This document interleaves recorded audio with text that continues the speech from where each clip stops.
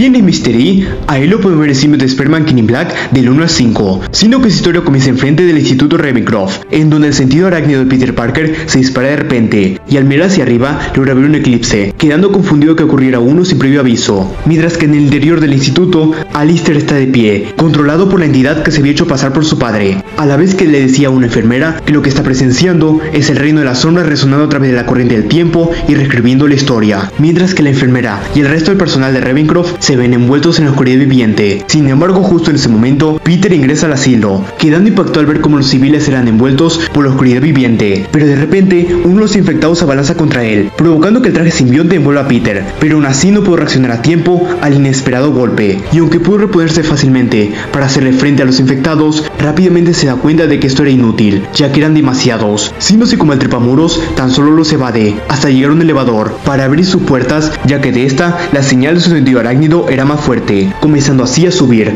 mientras los infectados lo seguían, pero Spider-Man logra llegar al lugar donde la señal de su sentido arácnido era más fuerte, encontrándose de esta manera con Alistair Smith, al cual confronta, acusándolo de estar detrás de todo, pero para su sorpresa, Alistair está envuelto por una entidad de oscuridad viviente, que se presenta como Mr. E, a lo que Spider-Man reacciona decepcionado por su nombre, mientras que Mr. E se acerca a él para darle un abrazo, mientras lo llama hermano, ya que lo reconoció como otra creación de Gnull, pero Spider-Man responde con un golpe, sacándolo del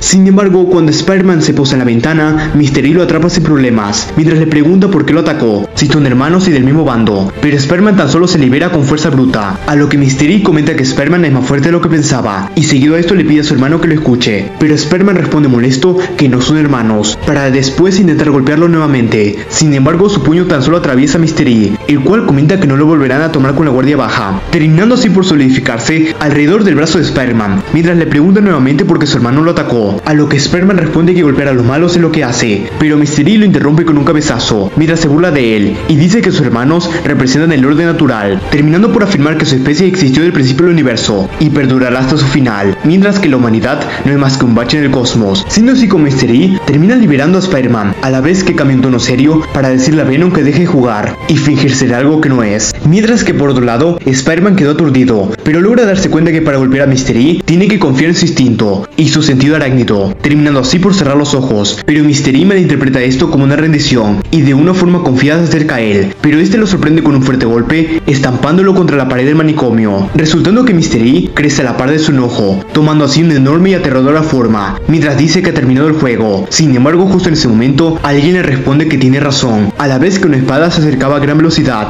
terminando por clavarse en el pecho de Mr. E, haciéndolo gritar de dolor. Y el responsable de esto fue nada menos que el Caballero Negro, quien montaba un caballo alado. Pero Spider-Man le pregunta qué está haciendo aquí, a lo que el Caballero Negro responde que está salvando el día como siempre lo hace. Y seguido a esto, el Caballero Negro le pregunta a Mr. E si es responsable del eclipse, a lo que Mr. E responde que mientras la creación avance en el tiempo, la descreación retrocede, terminando así por quitarse la espada de su pecho, para después desaparecer en las sombras, resultando que el Caballero Negro recupera su espada, a lo que Spider-Man le pregunta qué deben hacer ahora, pero el Caballero Negro admite que no está seguro. Ahora pasamos a la mansión de los Vengadores, en la cual el Caballero Negro le asegura a Merlin que están solos y que puede mostrarse, siendo de esta forma como aparece Merlin, a lo que el Caballero Negro le pregunta si sabe que le está pasando el sol, a lo que Merlin responde que hay un gran mal en el exterior y que solo un arma de inmenso poder, como la Ebony Blade, puede vencer, a lo que el Caballero Negro pregunta si este gran mal tiene nombre, pero Merlin responde sobriamente que es un dios primordial de la oscuridad, llamado Gnull, terminando por afirmar Merlin que Gnull está actualmente en una prisión, pero que ha previsto que Gnull escapará y traerá de la ruina al universo, a menos que sea detenido, pero de repente Merlin le pide al Caballero Negro que le dé la Blade, para que pueda mejorarla y poder acabar con Gnull de una vez por todas, pero en el momento que Merlin se acerca para tomarla, la tira hacia atrás y le exige a Merlin que diga su verdadero nombre, a lo que Merlin se revela como Mystery disfrazado, para después desaparecer, resultando que el Caballero Negro blande su espada y exige que la entidad se muestre, pero de repente Mystery emerge de la Ebony Blade y se la quita, afirmando que todo lo que dijo sobre Knull era cierto, para después atravesar al Caballero Negro con la Ebony Blade, mientras se burla de lo fácil que fue conseguirla, y termina por afirmar que tiene grandes planes con la Ebony Blade, pero desafortunadamente el Caballero Negro no se encuentra en ellos. Después de unas cuantas horas, el Caballero Negro recupera la conciencia y al levantar la mirada se encuentra enfrente suyo a Kang el Conquistador, a lo que el Caballero Negro intenta ponerse de pie para enfrentarse al supervillano que viaja en el tiempo, a lo que el Caballero Negro le dice que cierre la boca, pero de repente Rocket Raccoon le grita que escucha a Kang, a lo que el Caballero Negro se da vuelta para ver quién le habló, encontrándose así a un mapache parlante parado en sus dos patas, resultando que el caballero negro afirma alegremente que solo está alucinando, antes de colapsar por la pérdida de sangre, a lo que Rocket pregunta si está muerto, pero Kang responde que el caballero negro todavía está vivo, aunque apenas, a lo que Rocket le dice a Kang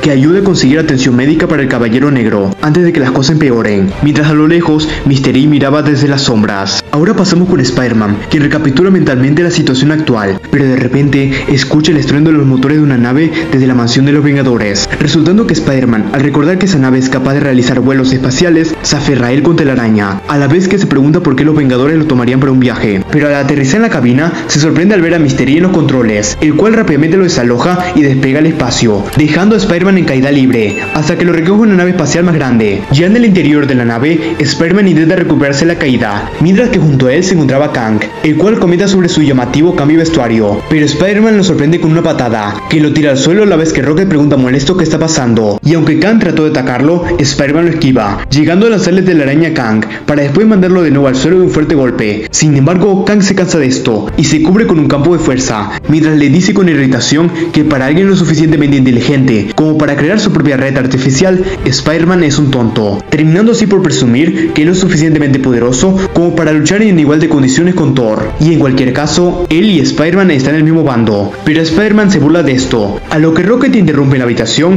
y dice que ahora son equipo, mientras Spider-Man se muestra incrédulo ante la presencia de un mapache parlante. Se me olvidó aclarar que esta historia ocurre en el pasado, mucho antes de que existieran los Guardianes de la Galaxia. Mientras por otro lado, Mystery buscaba la herrera troll Ulicia para destruir la Bunny Blade, pero justo fueron atacados por su hermano Ulik antes de que pudiera comenzar, siendo así como empezaría el combate entre Mystery y Ulik. Y aunque Mystery conocía muy bien quién era su rival, igualmente lo enfrentó usando la Bunny Blade, pero cuando estaba a punto de acabarlo, su hermana se interpuso, aunque igual fue sacada del combate de un solo golpe. Pero justo un gran rayo de energía lo manda a volar a Mystery, siendo que al lugar llegaría al trepamuros dándole una patada a Mystery, mientras decía sus típicos chistes, a lo que Mystery se pone en guardia, mientras pregunta sorprendido cómo pudo llegar a ese lugar, a lo que Spider-Man responde que gracias a un mapache parlante, a lo que Mystery lo intenta atacar, pero Spider-Man lo esquiva, para después atar con telaraña la Bunny Blade, pero cuando estaba a punto de tomarla, varios disparos atraviesan a Mystery, siendo nada menos que Rocket Raccoon, el cual no se estaba controlando, y debido a eso, Spider-Man tuvo que escapar del lugar, mientras Mystery se burlaba de que esos disparos no le afectaban, terminando este por canalizar uno de rayos de energía en la Bunny Blade para atacar a Rocket, pero este lo esquiva antes de que pueda alcanzarlo, mientras Kang se pone enfrente de Rocket para cubrirlo con su escudo, a lo que Spider-Man vuelve a intentar golpear a Mystery sin éxito, a lo que este responde con un golpe, pero justo en ese momento llegaría la Capitana Marvel metiéndose a Mystery, para llenarlo con luz ultravioleta que lo solidifica, resultando que ahora sí le afectan los ataques físicos, ya que Spider-Man logra golpearlo a la vez que Rocket comienza a disparar, resultando que logran quitarle la Ebony Blade,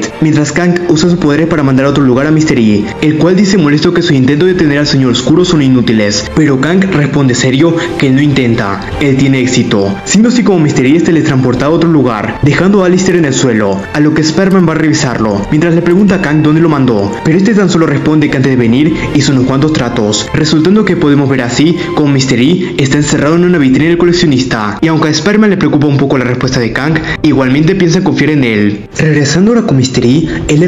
que restablezca su poder y le dé otra oportunidad, a lo que Gnull pregunta telepáticamente por qué debería confiar en que Mystery no le fallará nuevamente, pero Mystery le recuerda a Gnull la amenaza que representa para él la Ebony Blade, a lo que Gnull comenta que Mystery lo ha encontrado en un estado de ánimo generoso y acepta restaurar todo el poder del protosimbionte, lo que le permitirá actuar sin necesidad de tomar un huésped, resultando que el coleccionista gira justo a tiempo para ver cómo Mystery rompe sin esfuerzo la vitrina. Pasando a un break en Nowhere, el vigilante explica que necesita la Ebony Blade para vencer a una entidad llamada Ignull, y comenta que en las manos adecuadas, Ebony Blade podría potencialmente acabar con Ignull, a lo que Kang pregunta si el vigilante tiene la intención de empuñar la espada, pero este responde que está obligado por su juramento de no interferir, a lo que Kang sugiere encontrar un portador adecuado, a lo que Rocket pregunta profundamente si se refiere a sí mismo, pero justo la capitana Marvel interviene diciendo que el único que debería empuñar la Ebony Blade es el Caballero Negro, y agrega que nunca confiere en Kang un arma que podría destruir el universo, pero Kang responde irritado que no quiere destruir el universo, porque él también vive en él, a lo que Rocket intenta romper la discusión antes de que se convierta en una pelea, y le dice que mantenga la calma, mientras que por otra parte, Spider-Man está tomando otro cóctel sin alcohol, diciendo que tienen que mantener la calma, y bromea diciendo que podría enfrentarse a Mystery de nuevo sin sudar, y como si fuera una señal, justo en ese momento Mystery atraviesa una pared, y se jacta que con todo su poder restaurado es invencible, pero Spider-Man tan solo se sirve tranquilamente otro cóctel sin alcohol, mientras se pregunta si hay un ingrediente alucinógeno en la bebida, antes de notar que al menos puede estar tranquilo sabiendo que Kang no eliminó Mystery, el cual justo en ese momento le arrebata la Blade al vigilante. A lo que Spider-Man mientras se masajea la cara, gruñe que las personas que se refieren a sí mismas en tercera persona no son más que problemas. A lo que Mystery se burla de que Spider-Man no comprende la gravedad de la situación en la que se encuentra. Pero Spider-Man replica que la situación en la que se encuentra es cualquier cosa menos grave y seria, ya que involucra un mapache parlante, un viajero del tiempo, dos trolls que intentan matarse entre sí y todo en una estación espacial que es una cabeza cortada gigante, donde el jefe de es un perro ruso que habla, y ahora una sombra viviente cree que es su hermano, terminando así Spider-Man por golpear enojado a Mystery en la cara, resultando que lo manda a volar a través de la ventana, a la vez que nota con alivio que aún puede eludir la intangibilidad de Mystery, a lo que este último declara su intención de destruir la galaxia, pero de repente Spider-Man, Kang, Capitana Marvel, Rocket, Ulicia y Ulik salen del bar para enfrentarse a él, a lo que Spider-Man los llama los guardianes de la galaxia, pero la Capitana Marvel dice que ese nombre ya está en uso, mientras Rocket dice que le gusta como suena. Recuerden que esto ocurre mucho antes de que existieran los guardianes, siendo así como Rocket, Spider-Man y Kang tratan de atacar a Mystery, pero su ataque solo pasan a través de él, llegando a burlarse Mystery de que ahora su señor y maestro ha restaurado todo su poder, volviéndose invencible, pero Spider-Man responde que Mystery sigue siendo un hombre bastante ridículo, para después intentar sacarle a Bonnie Blade de las manos a Mystery, diciendo que si bien no puede lastimarlo, el Caballero Negro podría hacerlo, a la vez que Rocket y la Capitana Marvel atacan a Mystery sin ningún efecto, a lo que este pregunta burlonamente por qué Knull está preocupado por ellos, cuando ni siquiera pueden hacerle daño, hasta que de repente nota que el vigilante camina lentamente hacia él, a lo que Mystery en un tono de burla pregunta qué pretende hacer el vigilante, además de cumplir su juramento de solo observar mientras el universo se pudra a su alrededor. Sin embargo, al estar cara a cara, Mystery y el vigilante, este último le dice que lo mire, antes de atacar al protosimbionte con una ola de energía, a lo que Rocket logra atraparle a Bonnie Blade y apuñala a Mystery en el pecho con ella. Sin embargo, Mystery tan solo comienza a reír como un maníaco y proclama que ahora que ha recuperado todo su poder, ni siquiera le Bonnie Blade puede hacerle daño, terminándose por golpear a Rocket mientras el vigilante y la capitana Marvel voltean a ver, siéndose con Mystery levanta la Bonnie Blade sobre su cabeza y declara triunfalmente su intención de usarla para liberar a Ignul, pero Spider-Man se abalanza sobre él, mientras pregunta si Ignul es capaz de hacer que una roca sea demasiado pesada para levantarla por sí mismo, a lo que Mystery contesta que Spider-Man nunca aprenderá ni dejará de bromear hasta su final, terminando así por derribar a Spider-Man de un golpe, y seguido de esto levanta a Bonnie Blade para acabar con él, diciendo que pagará por su pecado contra Ignul. Pero justo en ese momento, la Capitana Marvel toma la espada entre sus manos y lo desarma, burlándose de su confusión mientras lo atraviesa, antes de canalizar su poder de luz a través de la espada, haciendo que Mystery grite dolor mientras se desmorona, terminando así por encerrarlo en la Bonnie Blade, a lo que Spider-Man choca los cinco con la Capitana Marvel, mientras el vigilante dice que su misión acaba de comenzar y que los llevará al futuro para llevar la pelea a Ignul directamente, a la vez que se comunica telepáticamente con su yo futuro, para hacerle saber que ya están yendo, a lo que Kang dice que está contento de ser de ayuda, sin embargo cuando el vigilante intenta transportarlos a través del tiempo, no pasa nada, provocando que Spider-Man exprese su descontento porque no hubo efectos especiales geniales, mientras que la Capitana Marvel pregunta si hay algún problema, a lo que el vigilante les informa que el Consejo de Vigilantes le ha impedido viajar en el tiempo, pero que por lo menos pueden ir al sol, y seguido a esto le dice a Rocket que prepare su nave. Pasándolo al espacio, la Capitana Marvel junto a Ebony Blade huele hacia el parche de oscuridad que cubre el sol, diciendo que espera que Knull sienta esto, antes de clavar la Ebony Blade en el parche de oscuridad viviente, logrando destruirlo, resultando que en el centro del planeta Clintar, Knull deja escapar un grito de dolor y se despierta brevemente, jurando venganza contra aquellos que se atrevan a lastimarlo, siendo el final de Mystery. Habilidades, fuerza sobrehumana, durabilidad sobrehumana, resistencia sobrehumana, velocidad sobrehumana, agilidad sobrehumana, reflejos sobrehumanos, factor de curación regenerativo, trepar muros, generación de material constituyente, cambio de forma, intangibilidad, esclavo sombra, creación de sombras y Ebony Blade. Debilidades. Al ser una creación directa del Señor Oscuro, las debilidades comunes de los simbiontes no le afectan, sin contar que al poder ser intangible puede evadir cualquier tipo de ataque, pero aún así las armas mágicas como la Ebony Blade son mortales para él.